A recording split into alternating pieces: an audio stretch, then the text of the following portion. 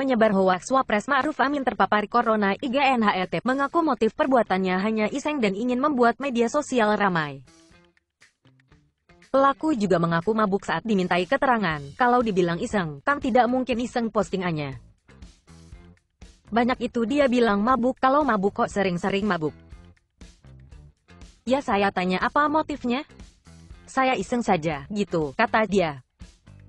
Karena saya ingin membuat ramai dunia medsos, kata Kasubdit Ves Cybercrime Polda Bali AKBP Igusti Ayu Putuswinaci saat dihubungi Detikcom.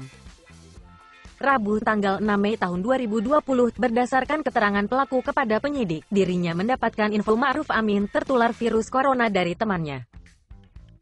Namun pelaku tidak menyebutkan identitas teman yang memberikan info tersebut, ya katanya dia dapat info dari temannya.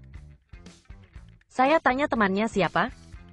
Dia bilang nggak tahu, kan nggak tahu, ujar Suenachi. Sementara itu, dalam postingannya pelaku juga menyertakan foto Wapres Ma'ruf Amin.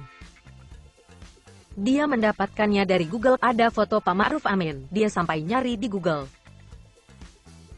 Katanya disertakan itu fotonya Pak Wapres, ungkap Suenachi. Sebelumnya, di Treskrim Suspolda Bali menangkap pelaku IGNHRT penyebar hoaks di akun media sosial Fakabuk miliknya.